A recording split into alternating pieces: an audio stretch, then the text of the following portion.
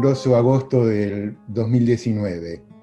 Eh, una mañana uno de los estudiantes apareció con una mascarilla. Solo yo reparé en el asunto. Al final de la clase le pregunté qué le pasaba, me respondió que no se sentía bien y que por esa razón había decidido participar del seminario con la boca y nariz cubiertas. Mi pregunta la motivó a darme una pequeña lección que ahora, un año más tarde, calificaría como introducción a una cultura cívica sanitaria. Aprendí que en China y en casi todo Extremo Oriente, e independientemente de los regímenes políticos vigentes o las ideologías dominantes, la mascarilla es un modo de protegerse y de proteger a los otros. Meses más tarde, en enero y febrero del 2020, las páginas de los diarios de Occidente comenzaron a incluir las primeras fotos del brote epidémico en Wuhan, y con ellas las mascarillas, usadas por niños, jóvenes, adultos y ancianos. Recordé a la estudiante china, recordé su lección de civilidad sanitaria. En esas semanas el virus ya había llegado a Europa. Fue entonces cuando algunos hablaron casi con sarcasmo de una gripita y otros de un problema del norte global que no podía desplazar las prioridades de la salud pública en el mucho más sufrido sur global. Abundaron los vaticinios, sinceros y legítimos, apocalípticos y esperanzados, improvisados y apenas informados, casi todos convencidos que ya nada será igual. Leídas en conjunto, estas narrativas revelan algo del tremendo desafío de navegar las incertidumbres traídas por una epidemia que, vale la pena insistir en esto, en modo alguno ha terminado. El COVID-19 sigue cargado de incógnitas. En noviembre del 2020 se sabe más que cuando comenzó la pandemia, pero las preguntas sobre el comportamiento de este virus, biomédicas, medioambientales, de salud pública, son tantas que solo un negligente o perverso voluntarismo puede desatenderlas. Algunas epidemias irrumpen, enferman, matan y terminan en un periodo relativamente corto de tiempo. Otras parecen maratones frente a las cuales, en medio de una densa maraña de incertidumbres, es imprescindible ir definiendo y ajustando prioridades, administrando recursos siempre insuficientes, facilitando convergencias sociales, políticas y culturales de todo tipo, forjando y modelando resiliencias a nivel personal, familiar y social. Y todo esto con resultados que pocas veces son los esperados y en los tiempos deseados. Como cuestiones humanas, individuales y colectivas, las incertidumbres producen incomodidades que pueden ir de un leve desasosiego al temor desenfrenado. Aprender a convivir con ellas es crucial. Cuando la información disponible se percibe insuficiente, toman forma el simplismo, las lecturas ideologizadas al extremo o las teorías conspirativas que buscan corroborarse en algún tipo, a veces cualquier tipo, de evidencias. Pero las incertidumbres siguen allí, simplemente porque la información es disponible es escasa e insuficiente. Cuesta vivir con las incertidumbres y admitir la perplejidad que generan. Cuesta admitir la vulnerabilidad que descubre nuestra ignorancia. Cada epidemia es única, resultante de un microorganismo y del modo en que una sociedad la confronta, reacciona e interpreta. Han sido siempre parte de la historia de la humanidad y lo seguirán siendo, puesto que las relaciones entre, entre sociedad y medio ambiente han estado inevitablemente marcadas por una inestabilidad donde factores no humanos como las mutaciones genéticas o las intervenciones humanas, como las alteraciones en el entorno medioambiental, se enhebran con contextos sociales y culturales muy particulares, muy específicos. En tiempos de epidemia, rituales de todo tipo fueron usados para exorcizar enemigos invisibles, inasibles, misteriosos. Durante siglos, las prácticas religiosas ofrecieron algo de sosiego frente al miedo y también explicaciones moralizantes de lo incomprensible. Con la revolución pasteriana del último tercio del siglo XIX, que encontraba en un microorganismo la causa de una enfermedad, avanzaron los empeños en gobernar el contagio epidémico. Utilizaron nuevas tecnologías, nuevos prejuicios sociales, nuevos modos cotidianos y nuevas técnicas de vigilancia médica. Pero estas novedades no significaban necesariamente entender cómo y a qué velocidad se propagaba ese particular microorganismo, a quiénes afectaba, por cuánto tiempo, cuánto enfermaba, cuánto mataba, cómo se lo combatía, qué medidas de salud pública podían proveer los mejores resultados, atendiendo no solo a las cuestiones sanitarias, sino también a las económicas y sociales. Frente a ese mar de incertidumbres, coexistían frágiles, frágiles respuestas, ancladas en la sensibilidad religiosa, en el conocimiento científico o en una mezcla de ambos. Inevitablemente, frente a la precariedad de esas respuestas, han desfilado viejos y muy humanos temores. Frente a la pandemia de influenza de 1918, más de un siglo atrás, que mató entre 40 y 100 millones de personas, no hubo tratamientos farmacológicos eficaces y específicos y la vacuna nunca llegó. El aislamiento y el distanciamiento social junto a la novedad de la mascarilla fueron las medidas que se utilizaron con éxito dispar mientras se trataba de mitigar el contagio. En Occidente las mascarillas pronto terminaron arrumbadas como un dato del pasado, tal como aconteció con la memoria de esa pandemia de 1918, sobre la que ya nadie hablaba a mediados de los años 20. El COVID-19 trajo de vuelta las mascarillas. Después de discutirse su utilidad, son parte de la escena urbana, hay quienes las usan disciplinadamente, quienes las han estetizado, quienes las politizan y quienes las resisten. En Oriente las mascarillas tienen otra historia. Aparecieron en el otoño de 1910 cuando un brote epidémico de neumonía azotó Manchuria. El taoísmo y las concepciones de la medicina tradicional china sobre los aires nocivos, todos anteriores a la muy occidental bacteriología moderna, ayudaron a su masiva difusión y aceptación.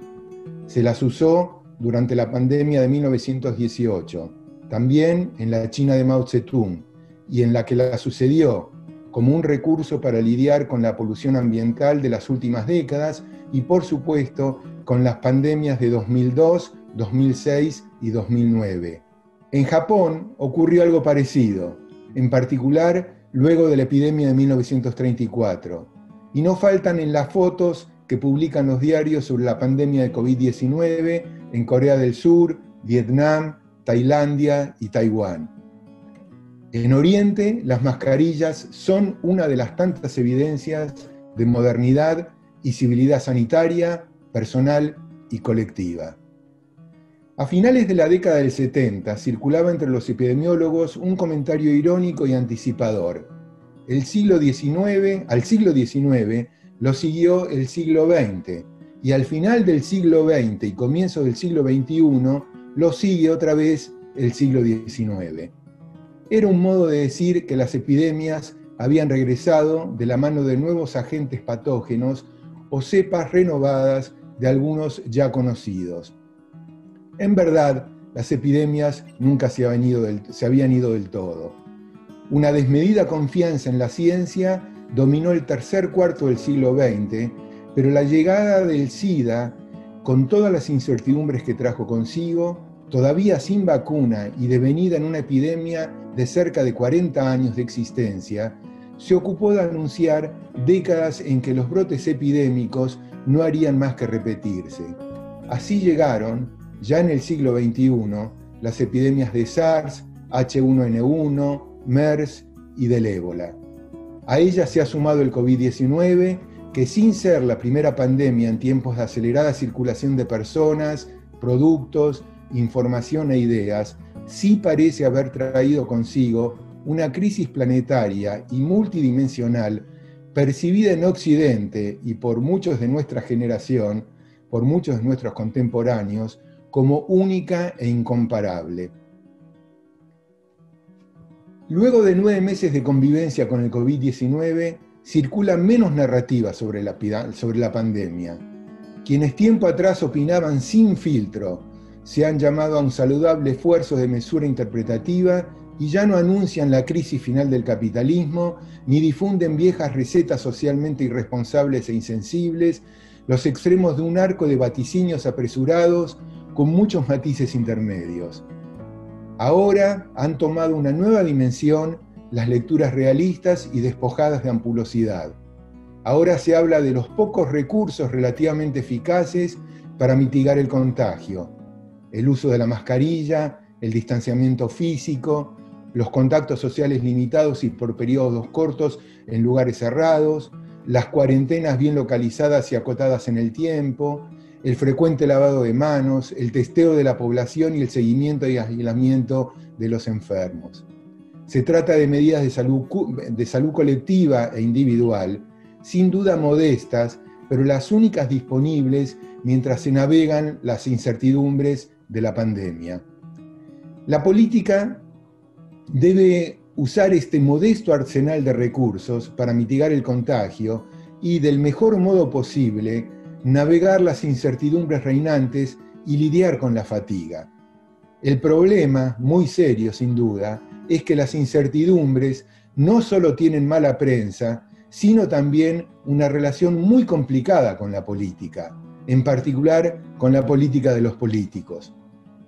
Por muchísimas razones, una pandemia pone en aprietos a la política, de la impotencia que se quiere ocultar a la tentación exitista alimentada por una estadística que a la semana siguiente se desvanece, de la inevitable tarea diaria de comunicar a la población los implacables números de contagiados y muertos, al también inevitable y loable esfuerzo por ofrecer alguna perspectiva de futuro. De la brutal exposición de desigualdades sociales existentes, ahora exacerbadas por la pandemia, a la gestión de una coyuntura sanitaria, social y económica que solo en raras ocasiones permita aumentar el capital político de quienes deben gobernar la crisis. A nadie le va bien en la pandemia, pero a algunos países le va menos mal que a otros, que aún con buenas intenciones intentaron gobernar la crisis sanitaria, poniendo a un lado las mezquindades que marcan a la política en tiempos ordinarios. Lograron convergencias de coyuntura, convergencias muy básicas que no son siquiera consensos, muchos más complicados de construir cuando se trata de encarar la infinidad de problemas pertinentes a la salud pública. Y también, y esto vale la pena insistir, también hay algunos países muy pobres y con muy precaria infraestructura sanitaria y estados muy débiles que han sabido desplegar sistemas de vigilancia, rastreo y control del contagio heredados de epidemias pasadas. Allí, agentes sanitarios comunitarios y población en general parecen haber consolidado prácticas cotidianas y una cultura de resiliencia y cuidados colectivos e individuales que hasta ahora les ha permitido capear el azote epidémico con bastante suceso. Estas sociedades con muy distintos sistemas políticos y muy diversos niveles de bienestar, han confrontado la pandemia de la mano de algo que se puede calificar como civilidad sanitaria. Como queda claro, no lo hicieron de igual modo ni con los mismos recursos, pero en todos parecen haber prestado presentes dos asuntos claves que hacen a la existencia misma de esa civilidad sanitaria. El primero refiere al modo en que los gobiernos, aún en medio de las incertidumbres traídas por un virus desconocido, supieron comunicar con claridad, sin absurdos y efímeros exitismos, sus empeños por entender y tratar de manejar el contagio, empeños inevitablemente tentativos que debieron y deben ajustarse a, los cambiantes, eh, a las cambiantes informaciones que produce la propia pandemia. Aún en la incertidumbre, estos gobiernos supieron construir confianza social, a veces legitimada en una autoridad ya testeada en previas epidemias, a veces en una autoridad que fueron ganando al calor de la crisis. Entendieron que debían jerarquizar las prioridades, construir convergencias básicas, desplegar sensatez, destacar que el bien colectivo de la salud demanda por un tiempo gestionar racionalmente las libertades individuales, la circulación, la vida social. Y en esa gestión desplegar un mínimo de consistencia frente a la difícil ecuación de combatir el contagio y permitir en la medida de lo posible el desarrollo de la vida económica. Dicho de otro modo, gobernar la crisis con transparencia, honestidad y la mayor eficacia posible, asumiendo que la pandemia no se combate con promesas o deseos o con una bala mágica, por caso la vacuna, sino con múltiples intervenciones. El segundo asunto pertinente a esta civilidad eh, sanitaria refiere al modo en que la sociedad acompaña las políticas de Estado que intentan gobernar el, el contagio. Lo hacen sobre la base de la confianza entre los gobiernos y la propia comunidad, desplegando una conciencia no solo resultante de obligaciones, sino también de adherencias voluntarias, cultivando una resiliencia que permite lidiar con una pandemia que puede ser larga y con recurrencias, tolerando las inevitables pero coyunturales estrecheces, incluidas las cuarentenas y aislamientos temporarios, fortaleciendo los lazos sociales y comunitarios que permiten entender y asumir la importancia del distanciamiento social y el testeo y seguimiento de los enfermos, practicando el frecuente lavado de manos, incluso en aquellas áreas donde los grifos escasean y son un recurso colectivo. También, por supuesto, usando la mascarilla con responsabilidad. Me encantaría que la pandemia deje grandes lecciones en materia de salud pública, entre ellas decentes redes de agua potable y cloacas, un adecuado equipamiento de salas de cuidados intensivos en hospitales, la necesaria jerarquización del trabajo de todos los profesionales involucrados en la prevención y atención de la salud y de tantas otras cosas que se sabe muy bien, pero pocas veces logran estar entre las prioridades de los gobiernos.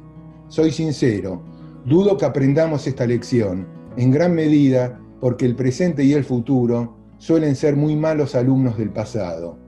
Me conformo, sin embargo, con un modesto aprendizaje, el de la necesidad de forjar una civilidad sanitaria bien asentada en la vida cotidiana, tal como me enseñó la estudiante en Shanghai en el verano de 2019, cuando asistió a clase con su mascarilla para protegerse y protegernos. Eso, mascarillas, redes de vigilancia epidemiológica bien asentadas en la comunidad, disponibilidad de ejercitar el distanciamiento social cuando sea necesario. Esta epidemia es una maratón, no una carrera de 100 metros. Muchas gracias.